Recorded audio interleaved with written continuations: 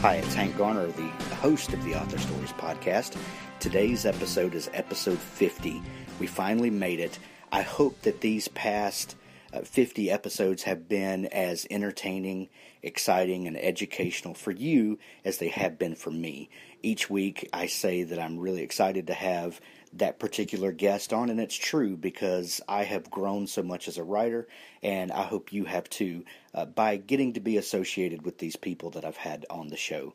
Uh, and today is no different. I'm really excited to have Andy Weir on the show, author of a, a, huge breakout book called The Martian that is about to be a major motion picture starring Matt Damon. And to celebrate that, I'm going to give away an audio book of The Martian. All you have to do is comment on the show notes at hankgarner.com on the on today's episode. Just go down to the comments at the bottom of the post and just leave me any comment about uh, what you've liked about the Author Stories podcast. It doesn't have to be much, just a little sentence. And if you will do that, then I will put you in the drawing. And a week from uh, today, on uh, August 17th, I'll do the drawing for an audiobook version of The Martian. Thank you for listening. I appreciate it as always. Go to hankgarner.com for all of the uh, archives of the show. The show is now also on YouTube. Uh, all uh, 50 episodes of the Author Stories podcast so far are on YouTube. You can search them on my channel. There's a link on the blog. And as always, if you want to help support the podcast, there's a uh, an Amazon link on the sidebar of the website. If you would click that and then just go shop at Amazon like you normally would, we get a small commission. Thanks for listening. Well, thanks for joining me again for the Author Stories podcast. This is Hank Garner, your host, and uh, each week I bring you the story behind the stories and the storytellers. This week uh, is a very special episode because it's episode 50 of the Author Stories podcast. And uh, to celebrate this momentous occasion, I uh, asked a uh, a very special guest on, and and uh, very happy to have Andy Weir on the podcast this week. Uh, Andy, of course, is the author of the blockbuster breakout hit, The Martian. Uh, and if you don't know anything about that book, then you've been hiding under a rock. Uh, but we're going to, a Martian rock possibly, but we're going to delve into that. Welcome to the show, Andy. Hi, thanks for having me. You're welcome. Uh, I ask all of my guests as we get started uh, to give us a little background about you and and tell us what it is that made you want to become a writer. Um, you know, I don't know. I think I've just always enjoyed the concept. I uh, I've I'm I've been a avid sci-fi fan since I was a kid. I guess I guess I just always wanted to be a writer.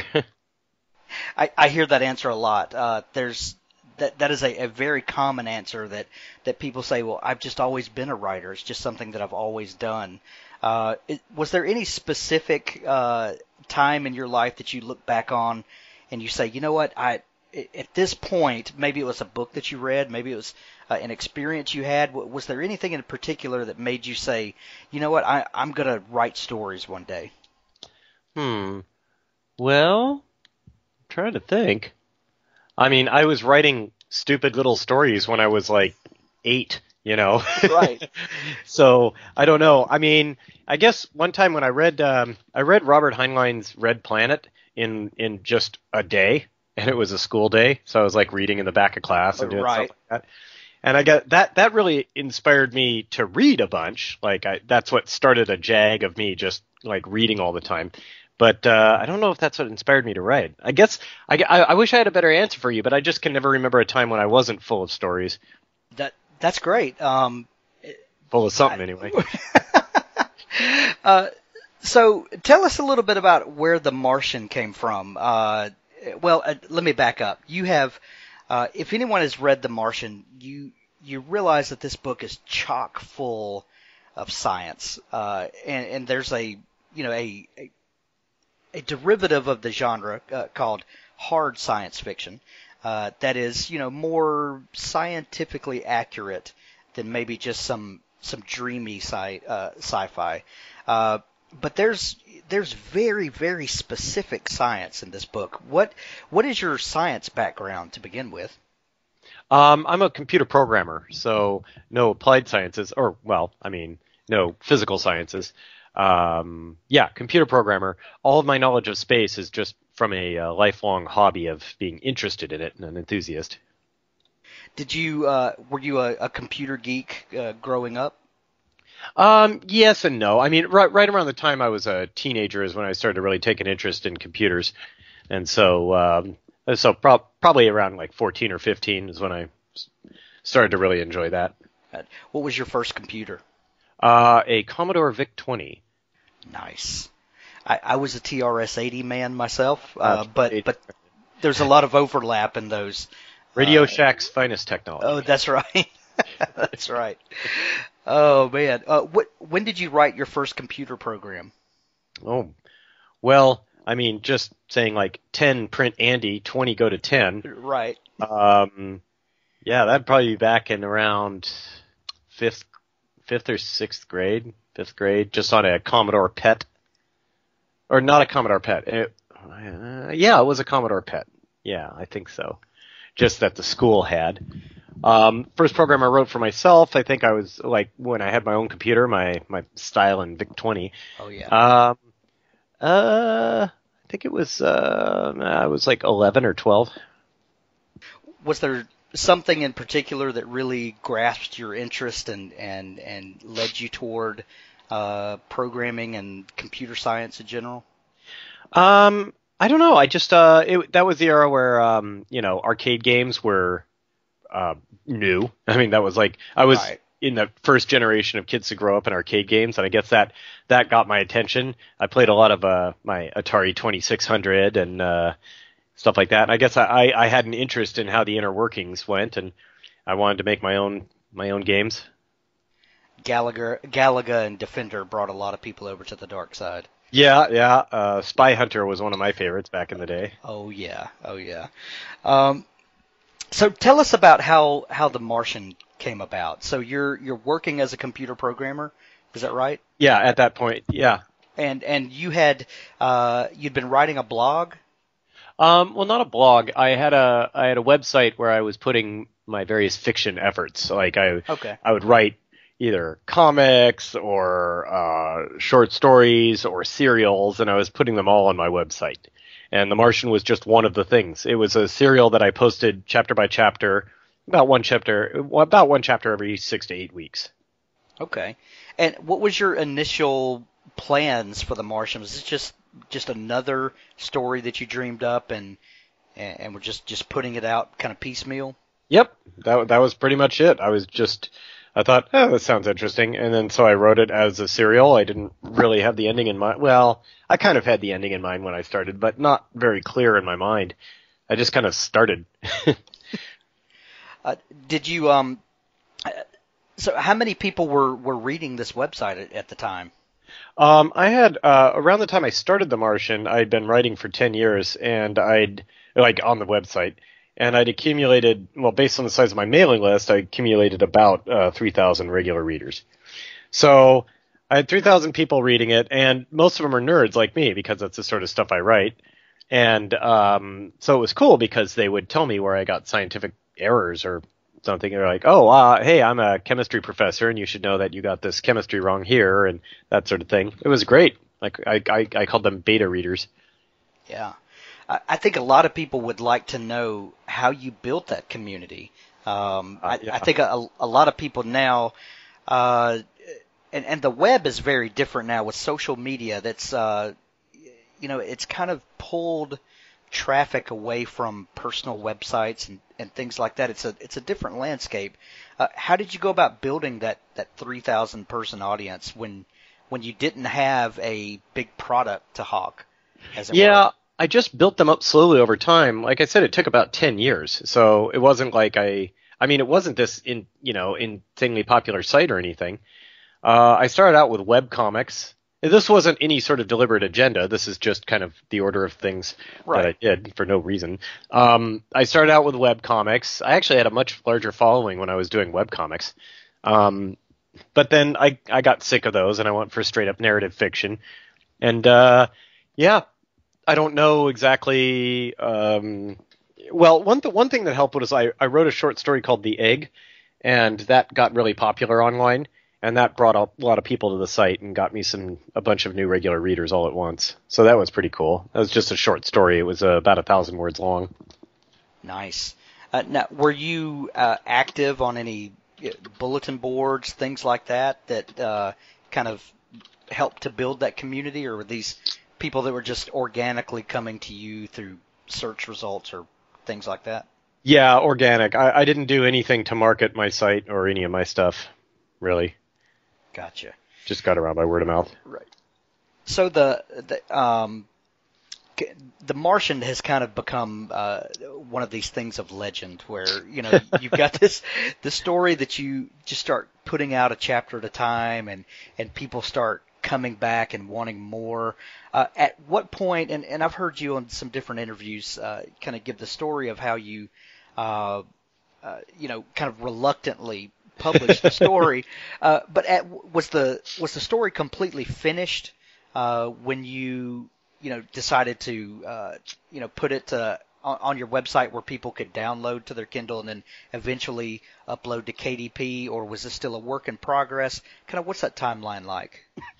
Um, well, I was posting it uh, chapter by chapter until it was done, and so the whole book was complete before I made an EPUB or a, you know an a, um, an e-reader version, uh, which I just posted to my site. And then the uh, then the readers, you know, a lot of them said like, well, I, I love that there's an e-reader version, but I'm not very technically savvy. Can you just post it on Amazon? Which is what caused me to post it to Amazon. And then I was really surprised, and, and Amazon forces you to charge at least a buck. And so I was really surprised that people, so many people bought it when they could just download it for free from my site. so I, I guess it's because people are just willing to pay a buck to avoid technical hassles. And Amazon has a great reach into the readership market. Absolutely. And, and you can't discount also uh, the willingness of people to uh, to support your work if, you give them a way to. Yeah, that was another factor. Um, so for years and years, people, I, I, would occasionally get email from people saying like, "Hey, I'd like to support you. Do you have a PayPal donation button or something?" And I would always say, "No, you know, I'm a computer programmer. I, you know, I make, I'm, I'm a Silicon Valley engineer, senior level. I, I, I make pretty good money, so I wouldn't feel right, you know, taking donations, right?" Um, so I always said like, no, no, thanks. And if you really want to donate money, donate it to cancer research on my behalf, you know, or something like that. Right. But then when I put the book up for sale, all my readers suddenly had an avenue by which they could give me money. they were like, oh, well, I've already read the book, but I'm going to buy it from Amazon just so I can give Andy a buck. nice. Uh, yeah, cool. Yeah, and uh, it, it it never ceases to amaze me the the the people that your stories connect with, uh, and that uh, people will email me and and and tell me things uh, that I never intended or didn't you know uh, consciously intend, and uh, it it amazes me the way stories connect with people, and then the way they want to give back due to that. It it it's absolutely amazing. Yeah, it's nice. And yeah, it's true. A lot of people, you know, draw conclusions from The Martian that are much deeper than anything I had in mind. you know, right. Where did the original idea come from? So, what year did you start writing The Martian? Uh, well, start like when I actually wrote chapter one. I started in 2009, but I'd had the idea in mind for several years earlier.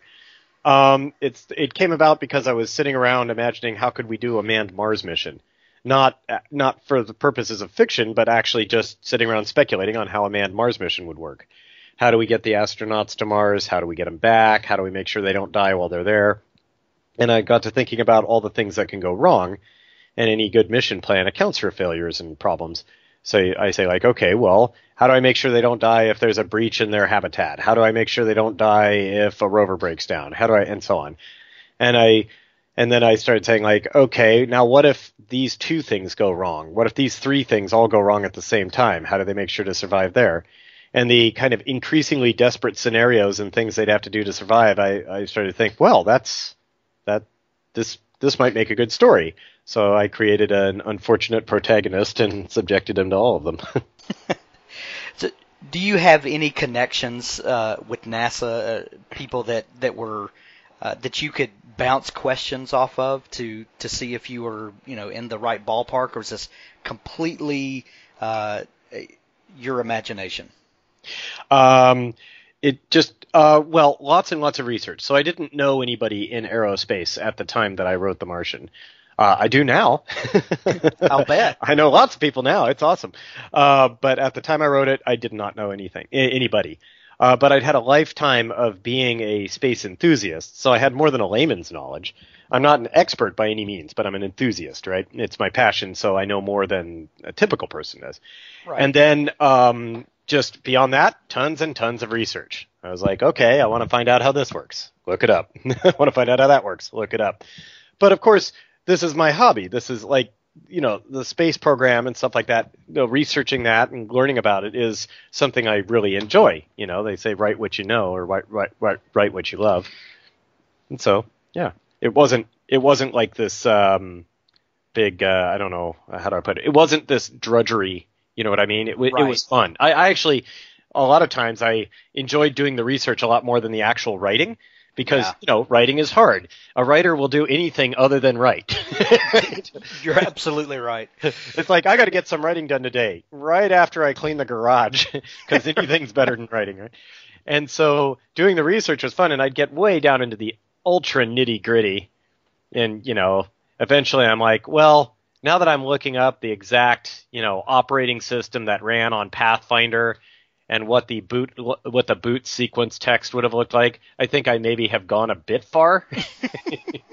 but it but it plays a, a role in the book eventually. That's I mean you, uh, know, yes, you, yes, you're, it does. you're able to use those things. Yeah. Uh, speaking of which, um, there are uh, there there are bits of science in the book. Uh, did you make a uh, passing reference to, or uh, you know, the the main protagonist Mark Watney will uh, kind of, as he's mulling things over, he just kind of spits these details out. Uh, that I get the impression uh, there's a lot more research and a lot more uh, factoring and uh, thought that went into this one sentence. Oh, yeah. how much of that, you know, is there and and the the other side of that is how, as an author, when you're uh, getting down into the weeds like that, how, how, much of that uh, do you include, and and how do you develop that instinct uh, that tells you, you know what, let, let me just make a passing reference to this instead of writing three pages on why this science works. How yeah. do you develop that that instinct? Well, that was the biggest challenge actually in writing the book was there was a bunch of exposition I needed the reader to know, right. but at the same time I didn't want to drone on and on and bore them. Um, so that that was a, just a constant balancing act for me. And sometimes, you know, when I reread the book now, sometimes I see like, ah, I went a little too heavy on the science there. That could be trimmed up. And other times I'm like, ah, I was a little too brief on that. I think that maybe lost a lot of readers. Um, but yeah, the the one thing I, I guess in terms of developing the instinct on what to say and what not to say, you have to kind of I don't know, pretend you're someone else, you know, you make believe. You say like, okay, I'm a reader. No, I'm not Andy anymore. I'm I'm a I'm a person who doesn't necessarily know this, and then you kind of like read it from that mindset and say like, okay, what what would I get stuck on here? What would I not understand? And at what point am I does it get repetitive? And I say like, okay, I understand this now. You didn't need to give me that much detail. I, I guess it all comes down to um, being able to hypothetically put yourself in in the reader's shoes, right? And it was hard though. The hardest thing wasn't so much you know figuring it out. The hardest thing was saying like, oh, you know, it took me a long time to work this out. It should take you a long time to read it. you know, right? There's there's a huge investment here. Yeah, it's like there there are places where it's it, exactly like you said. There are places where there's just a one-off sentence that uh, you know turns out it took me a week of research and math to to figure that out, right? So, like for instance, when he casually says like, "Oh, it took 124 days to get from Earth to Mars," you know, in the beginning, right. uh, at the beginning of the book, he says like, "Yeah, we got we got from Earth to Mars in 124 days." Well, that that was a month of orbital dynamics calculations and writing my own software to calculate a constantly accelerating craft moving throughout the solar system from a from a specified launch window, and it was just like a huge amount of work. Wow. Uh, now the uh, now the, I'm glad you brought that up because uh, the the book is set in the unspecified future. Right. Uh, it, do you know when the book is set? Yes, I do, and now it's uh, public because other people have worked it out. Um, Ah. just yeah, well, yeah, no, other uh, like a, a reader, uh, Kenny Ray. His name is Kenny Ray. Um, he worked out um, the exact launch date uh, and and the exact date of like Sol Six or whatever. He worked out all the dates based on communication latencies and orbital intercept times and stuff like that. So from from information given in the book, he was able to back calculate the date.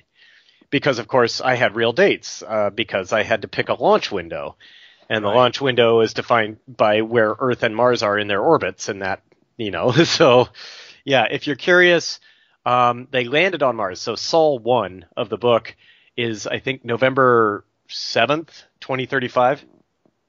Ah, so now the the secret is out. The secret is out. Yes. That's a And they're hardcore actually- fan.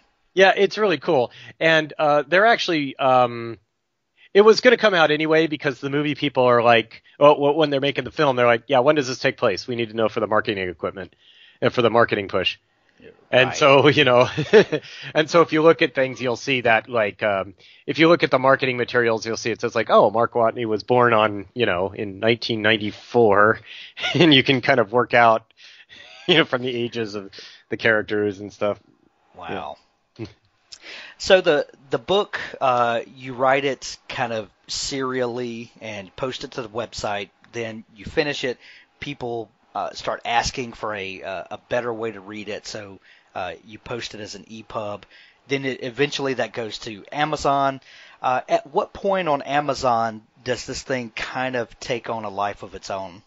Well, I posted it to Amazon in September of 2012, and by December it was really it, it had gotten into the top sellers lists. So late September, so October, November, December, about three months, and Christmas helped a lot with the sales. Um, and I didn't even realize that it was selling well until it started showing up on the top sellers lists, because you know I I I would just get these you know I'd just look at the daily reports and it's like okay well you sold 300 copies today and I would think, is that good? Is that I, I don't I don't have any notion of what to compare that to. Right. But in the uh, KDP uh, system, when, when you join, your automatic I mean your username is automatically you can access this forum of authors, and just people are there talking about authory things like, oh hey, how do you market your book? And oh hey, what you know, that just talking about you know, all you know, being part of an author community, that sort of stuff. And uh, one every now and then there'd be a thread where people would say like, "Hey, post your sales numbers," you know, because people would didn't mind talking about that stuff, and people would be posting numbers like, "I sold five copies every day last week. I'm thrilled," and you know, "I sold ten, yay!" And I'm like, "I'm selling 300 a day. I guess I'm doing. I guess this is abnormal then." Now, did you post in there uh, those numbers, or, or were you just Oh. sitting back going, "Oh my God, I, I was just lurking, and I was like, "Huh." that that is so awesome because uh, I think in this day and age, especially authors starting out, there's there's such a wealth of information, uh, you know, about KDP and um, self-publishing and this whole kind of thing. And I think people come in with an expectation that you know this is going to be hard work and and I'm going to have to build an audience and um, you know. you know, one or two for the first month, and then it kind of scales up. You know, there's, uh, but you kind of came in from the opposite direction, uh, and that's such a great story uh, because you, you absolutely had no baggage coming into it. Well, yeah, and I I I built up my audience in another way, and I think that by the way, having that audience to start off with was, I you know I kind of bungled into what turned out to be a good snowballing formula. I think because I had I had my my regular readers of three thousand people, and then when I posted to Amazon, like all three thousand of them immediately went and bought the book, right?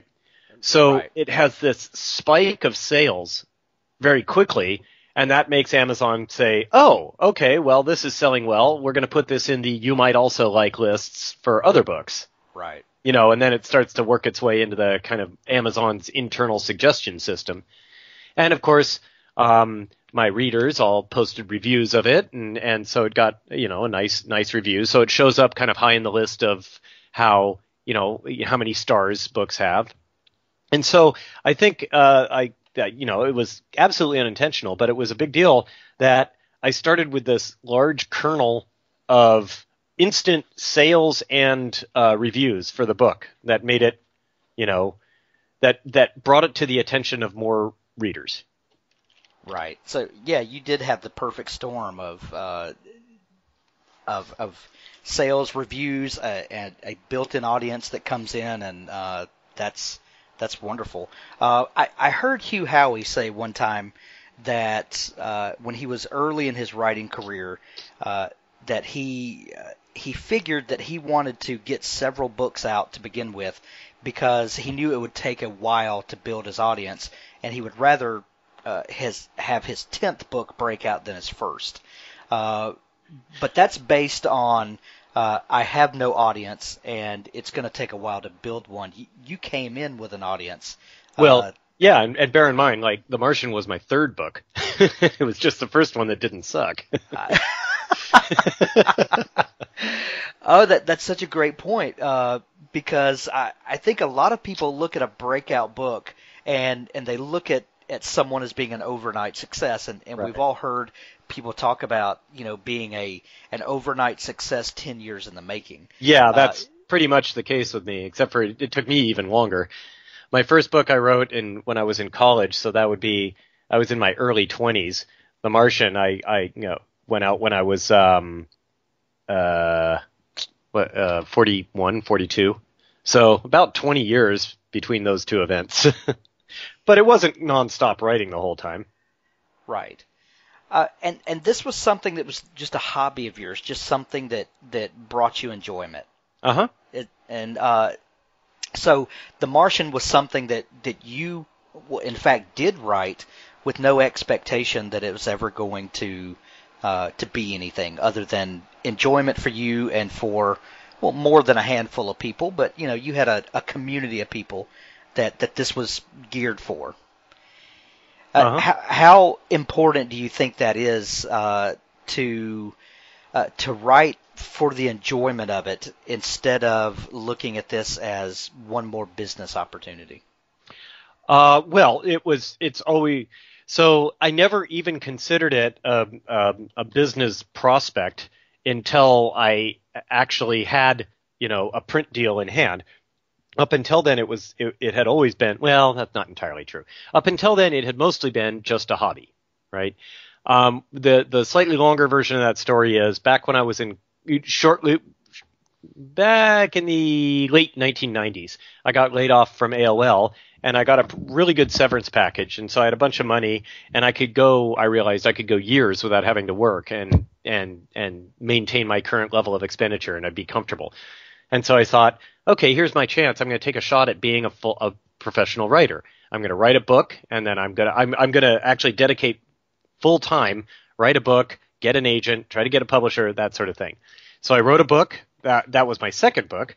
I wrote I wrote it. It was called Theft of Pride, and I tried to get an agent and I couldn't, and I couldn't get a publisher interested, and you know, kind of the standard tale of woe that every author has. Collecting rejection slips. Yep, exactly. Rejection slips from uh, literary agents. No one was interested, and the the book was okay. It wasn't good. Uh, the wordsmithing is poor. You know what I mean? Uh, the Yeah. plot the plot was reasonably good. I still think, but the um, the the writing itself was bad. If it was going to be a viable book, I'd I'd have to rewrite it from scratch. But anyway, after three years uh, of you know just rejections, I decided, all right, well, I gave it a whirl.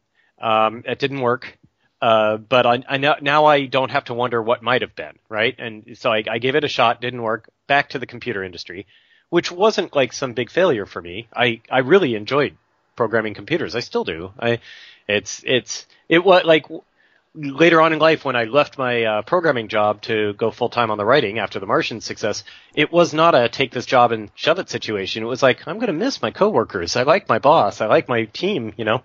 Right. Anyway, uh, so that's a very long-winded answer to your question. Basically, you said, how seriously did I take it as a career as opposed to just a hobby? Well, for a three-year stint earlier in life, I took it very seriously as a career and failed, and then I decided, okay, from now on it'll just be a hobby. Now that's a uh, a really uh, intriguing thing that that I don't get to ask a lot of people because uh, very few people have uh, been in the situation where you were. Uh, I think a lot of people look at writing and uh, and the uh, telling stories that you know what I would love to do this full time, and if I could ever build up. Uh, you know, to the place where I could do that, I would love to just do this full time. And then they have these dreams of, you know, I could write five novels a year if all I had to do was sit and write.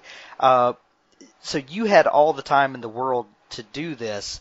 Uh, how hard was it still to sit down and write? Still very hard. Well, I have all the time in the world to do it right now. That's my whole job right now, and, and, it's still a challenge. Um, it's hard to keep focused. It's um, uh, you know, and, and it's a it's a big change from my previous lifestyle, which was you know engineering, and you know, as an engineer, I had very, very objective goals. It's right. like, okay, here are the features we need you to implement. Here's the due date. We're going to have the product launch on this date. We need QA to deal with this. You have a list of known bugs. You need to fix them. And you're part of a team, you know, you, have got a lot of people to work with and interact with, and you have a boss checking up on you every day, right? Writing right. is exactly the opposite in every way. First off, there's no objective results. It's just, hey, write a book and try to make it not suck. And then uh, no boss, no one breathing down your neck. It'll be a due date, you know, something like 11 months in the future. Uh, no team. you're you're on your own, and no one's forcing you to work other than you. right. It's it's an adjustment. It's a big adjustment. I'm I'm slowly adjusting, and also I have the added complication. Don't get me wrong. I'm not complaining, but the added complication of um, uh, since the book has spiked in popularity with the movie coming, I, ha- I have a lot of interviews to do. I have a lot of uh, media stuff, a lot of uh, oh, what do you call it? marketing, movie marketing related things to do, and that that eats up a lot of my time. I, I can imagine.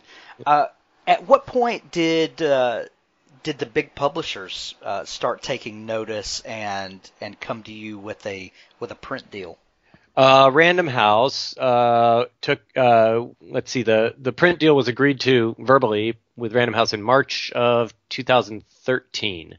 So that would be, you know, I, I posted it to Kindle in September, and then Random House was knocking on the door around March. So about six months after I posted it. Wow. And that was uh, the same time Fox came for the film rights, and that was uh, the same the same time as the um, the print deal was going on, the the movie deal was being negotiated, and so those two deals were agreed to four days apart. Good so that grief. that was that was an eventful week. I'll bet. Uh, what was that feeling like that uh, you go from, you know, within, uh, I guess probably within a year's time when you started writing it to uh, to publishing it, and it starts getting this audience uh, that you never planned on, and now Ridley Scott wants to make a movie. What? It's, it's how do you process that? It's you know you don't. That's what happened. It's like eh, you know everybody when you're writing you have fantasies like this, you know daydreams. Right. Of, oh yeah, it's good, but you, you never imagine it'll actually happen. And then when everything comes together and it actually happens, you're like, what? it still hasn't really settled in. Like it's still like a large irrational part of my brain doesn't really believe that movie exists yet. right. I haven't seen it yet. I'll get to watch it uh, later this month.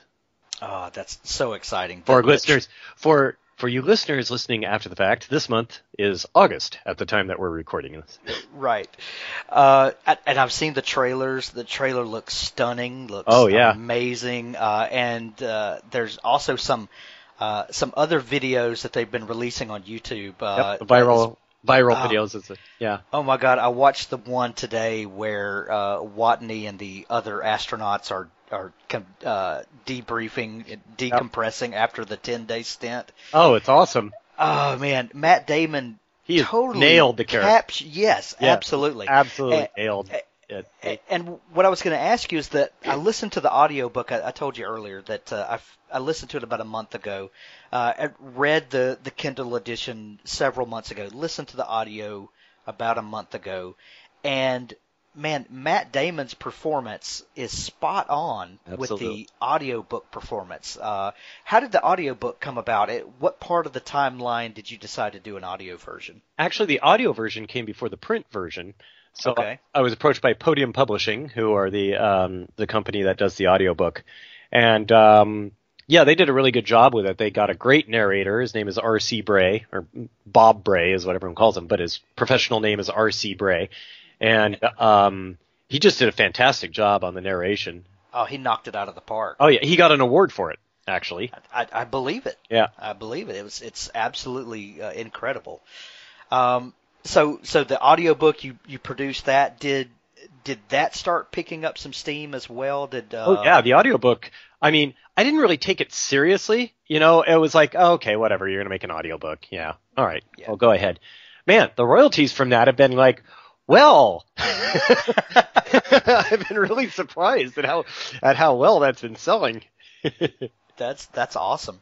Um, so the uh, you get the uh, the print rights that deal done and the the movie deal done at the same time. Uh, how does that start changing for you when when uh, when Random House got the book? Did they pull the self-published version off the market? Yes. Uh, Uh, actually, even even earlier, um, Podium also asked me to pull the self-published version. Uh, really? down. Yeah. Or no, no. They they didn't. They wanted me to pull down the free version. So Okay. initially, at the time I made the uh, the audiobook deal, which was the first deal that we made, um, the uh, uh, the self published version was still up on my website. I still had the deal was yeah, you can buy it on Amazon or you can or you can get it for free from my site. And so the audiobook guys are like, okay, the the the the version you're selling on Amazon is fine, but we want you to take down the free version because we kind of feel that might cut into our sales. Yeah, you're killing us, Smalls. Yeah, you're killing me, Smalls. And then um, and Sandlot, good movie. Um, but then uh, when That was a way back reference for for those of you out there. Yeah. Yeah. Uh, and then um, uh, when Random House got the rights to the book and they started working on it, they had me remove the audiobook. Uh, sorry, no, they had me remove the the Kindle edition as well. So then for a while, for several months there, the only um, legal way anybody could have get the book was to buy the audiobook Aha. and then and then the the print edition and the uh, Random House owned um, ebook version came out and etc. Did the the audiobook uh, kind of have a similar trajectory with uh, it picking up steam and kind of finding a, a, a new audience all its own there on Audible? Uh I think it it was it sold w- really well just right from the start. So it didn't really need to pick up steam by the time by the time they, you know, created the audiobook and got it out there and up on Audible, uh, The Martian was already, um, you know, a top seller on Amazon uh, for the ebook version. So they, they, they got the benefit of that, and it was pretty sweet for them, and and for me, you know, I get. yeah, yeah, absolutely. Uh, had were you able to have any input uh, to the uh, the film? Do you get to play a role in that at all? Uh, my my only job on the film was to cash the check, but uh, well, that's a, that's a very important job. It's a good though. job. Yeah, Yeah. but so they didn't have to include me in anything, but they chose to. They they chose to involve me in a lot of things, and that was pretty cool. Uh, especially the screenplay. So Drew Goddard, uh, veteran screenplay writer, uh, wrote the screenplay, and he included me a lot. We talked on the phone back and forth. I mean, we'd talk on the phone almost every day when he was in the thick of it. And then he sent me uh, versions of the screenplay to get my feedback. Um, he made some changes based on what I said. He ignored other things I said. You know, it's his screenplay. Right. Uh, I think it came out really well. I think it's going to be great. And uh, yeah, so it was kind of cool to be involved in the process, right? yeah. They invited me to go to Budapest, which is where they did the studio work. They invited me to go there, but I'm not uh, really great with flying, and I just can't see myself. I couldn't see myself getting out to Budapest, so I declined. which is interesting for a guy who writes a book about going to Mars. No, it's ironic. Yeah, I, it's uh, ironic, but I write about uh, I write about brave people. I'm not I- one of them. I I totally get it. I do. Uh, I do love to hear though that that you got to have the level of input that you did on the screenplay because uh, I think that everyone dreams of their book becoming a movie. Uh, but in the back of all of our minds, there's this hesitation that I'm going to have to give my baby to someone else, and they're going to. It's no longer going to be mine. It's going to be theirs. Then, uh, were were you scared at all? Did you were you nervous about what they were going to do to your book? You know, it's weird. I never was because uh, probably for a few reasons. First off, I was, you know, I got to see the screenplay come together, and I could see that it was uh, a really good, a really faithful adaptation of the book, and so I was Yeah. really pleased with that. And then, um, second off, I think because I'm used to working on a team. My whole career has been as a software engineer, so there's always been, and, and you know, in software engineering, you do a lot of design work. You say like, okay, how are we going to put the um, how are we going to put the code base together? What are the big chunks? Uh, how how will this system work? How will that system work? You know, and you make compromises with the other engineers. It's like, oh well, I think this design would be best, and the another engineer's like, no, no, no, I think this one would be best, and you guys compromise and work out something that you're both happy with. So I'm used to that sort of team dynamic for creating stuff, right? So Right. I guess I was already comfortable with it. I didn't feel, you know, unusually possessive of of the story. I felt like, okay, well now it's going to go into this mill and be modified as needed to make it popular for a, you know, for a visual medium that's like different than a print medium, right? Right, right. Well, that that's great. I I love to hear that. Um, I I think this uh, you know writers can be very uh, uh kind of uh loner uh, Yeah. type. You know that it- it's got to. I'm doing this all by myself, and it's my way or, or no way. Uh, and I, I love that mentality of you know that, that this is a team effort, and to, to get this story out to the uh, to the world at large, it, that's a, a great way to uh, to approach it. Ah, cool. Um, the, one thing that, that I loved about the book is that uh, there is a uh, the Martian reminded me of what I loved about science fiction when I was a kid. Uh, that you know, it seemed like in the in the golden age of sci-fi, if you will, uh, that science fiction was very hopeful, and it's it challenged us. It, you know, it challenged the the scientists and engineers of the day to to kind of push our horizons to do bigger and better things. And even though the you know the the gist of of the story is you know Mark Watney is in dire trouble, uh, it's a very hopeful story to me. Uh, I took that away that this is uh, a, a story of the human spirit that cannot be uh, held back, and and that we will always find a way to do bigger and better things. Uh, and a lot of science fiction now is, uh, you know, dystopia is is very big. And Yeah. You know, a lot of science fiction now is like cautionary tales of Yep. of you know Doom we are we yeah we are the worst thing and this is what happens when we you know just are left to our own devices. Um but i you know i was i was talking to my son uh who uh, while i was reading it and just thinking you know this is what good science fiction is is it it challenges us to to keep pushing forward to to bigger and better things.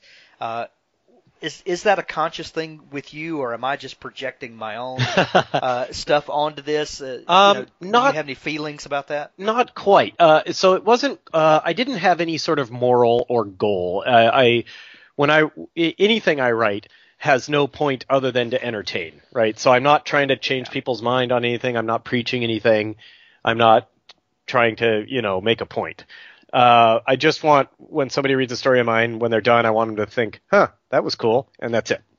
Um, but uh, it does reflect kind of a lot of my own personal, like my own kind of viewpoint on the world. I guess I'm more optimistic than is the norm right now. I uh, I really do have a high opinion of humanity. I think we're a very cool group of folks, and uh, we always do great things. Just ask yourself, pick any two centuries in history, and ask yourself which one you would rather live in between those two. You'll always pick the later one. Um, Right. It's always going to be better. You'd rather live in the 21st century than the 20th. You'd rather live in the 18th than the 17th. It's just, it's, we always make the world a better place consistently. And there are little, we drop the ball here and there for 10 or 20 years at a time, but then we continue making it better. And I guess, um, I guess I just have that view of humanity that while there are a lot of jerks out there and, you know, people who cause real harm, they're greatly outnumbered by the people who, uh, who help. And so, I mean, like on 9/11, 19 people made that happen, and thousands of people rushed in to help. Right. I, I agree with you. I, I think that uh, and good stories bring that out that that humanity is is not a lost cause. Um, I don't think it ever what, was. I think there's just a, a cynicism sells, and it's um, it's also if you take a very cynical view, it's really easy to come up with conflict, right? And conflict mm-hmm. is the root of all stories. So you if you say like, oh, dystopian future, well then everything gets really really easy. You say like, okay, I have one morally strong character in a corrupt and horrible world, then immediately, you know, the reader's on my side. The uh, and everybody feels a little ganged up on by the world once in a while, so they can project in and so on. Right. But it's just I don't know. It's overdone.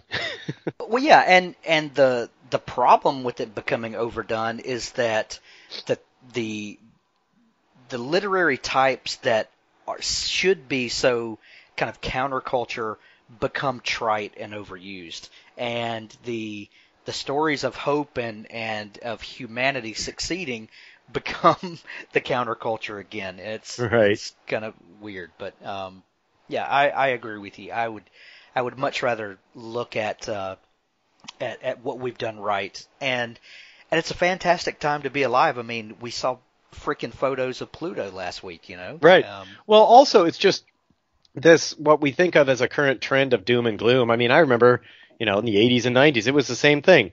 All the stories sure. of the future is like, oh, this takes place in the dark and miserable year of 2010. And like, right. you know, at this time, all the oil has been consumed and people, you know, fight in the streets for bread. And it's always just doom and gloom. But you know what? 2010 was way cooler to live in than 1985. Cause like in 2010, I had internet. Yeah, high speed internet. high speed internet. Yeah, and the Russians had not taken over my local high school. Yeah, Russians had not taken over your local high school. That's although Red Dawn took place the year it was made. So. Uh, true. Yeah, true. Yes. Was that 84? I'm not sure what your mid 80s. Anyway, mid 80s. Yeah, that was a that was an awesome time to be a kid. You were scared of everything. Yeah, no, yeah. Every every night I go to bed wondering if I was going to get nuked. no. The day after, boy, that kept me up all night. Oh, no doubt, no doubt.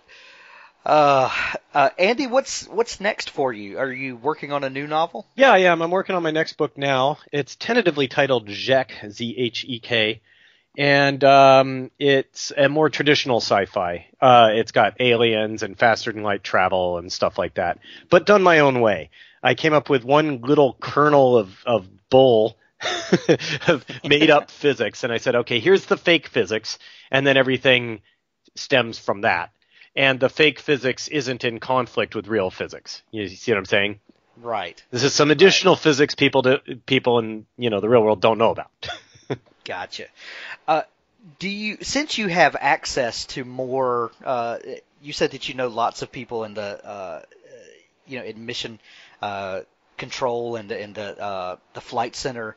Uh, do does that affect your writing from now on? Oh yeah, uh, absolutely. Anytime I need information on that stuff, I've got tons of contacts that I can talk to. I've got I've got a side project that I'm that is more uh, more hard science fiction. Um, see, the book I'm working on that I just told you about, I actually have a contract for that, so that's my primary, uh, you know, thing that I'm working on. But I've got a side project which uh, it's kind of under wraps a bit, but uh, re- is much more like hard sci-fi and uh, you know space program stuff. And so it's great to have all these uh, mission controllers and astronauts to email and say, "Hey, I got a question." Awesome. Uh, the side project is is that something that you're uh, going to publish yourself, or is this uh, that you're going to give to the publisher, or have you even thought that far ahead? Uh, it's uh, it, it, it it'll it'll be it'll be a professional thing. It wouldn't be like I I, I wouldn't uh, self-publish. Uh, it, you know, how do I put it? Self-publishing is something I did because I didn't have any other option. I'm not. I, I, I love the idea of having a publisher because Gotcha. they're they're experts on publicity and marketing, and I'm not. Sure, sure. Okay. Uh, Andy, where can people find you on the web to follow up with what's going on and uh, just kind of plug into your, your process? Uh, Facebook is a good place, so you can find me there. I have a verified account, and um, uh, there's the website andyweirauthor.com. Okay.